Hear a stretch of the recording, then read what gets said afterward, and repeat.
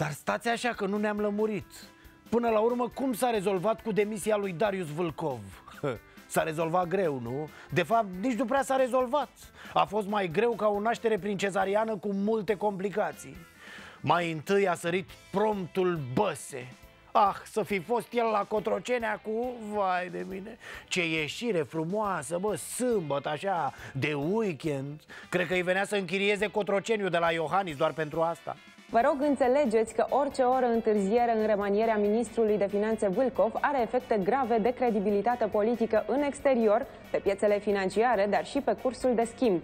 Faceți remanierea domnului Vâlcov înainte de ziua de luni. Și să nu credeți că Băse nu știe ce vorbește, da? Știe foarte bine, știe că a fost alături de Darius Vâlcov, păi nu?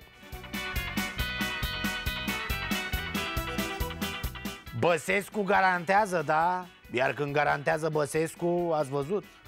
Deci eu zic să-i luați direct de pe afișele astea. Da, că toți garantații lui Băse care bani cu punga.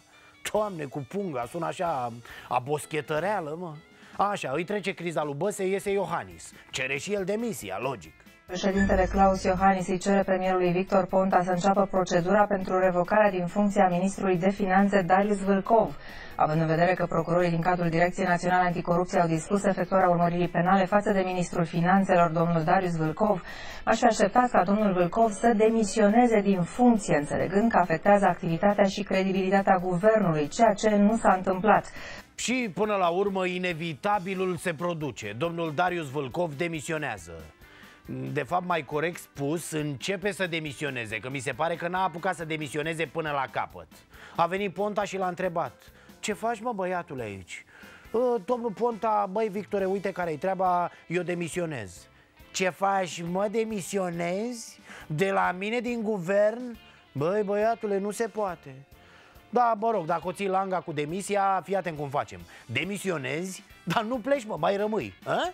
Am discutat uh, astăzi la prânz cu domnul Vâlcov, care bineînțeles că mi-a înaintat demisia domniei sale. Uh, i-am, uh, am vorbit după aceea, după amiază seară și cu președintele și uh, aștept de la domnul Vâlcov, care chiar a avut un rol foarte important foarte și pozitiv, să, ca în zilele imediat următoare totuși să termine proiectul de cod fiscal.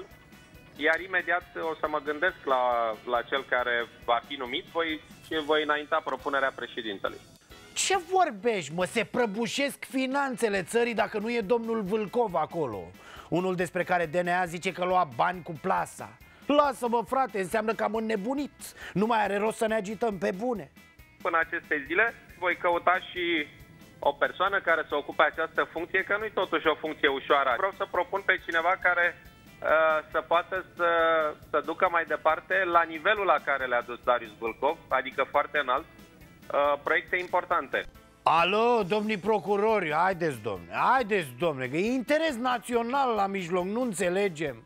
Darius e singura noastră șansă. Sau, nu știu, amenajați la arest un birou modern Să se ocupe omul mai departe de binele României. Domnule Vâlcov, aveți milă de noi, să nu ne uitați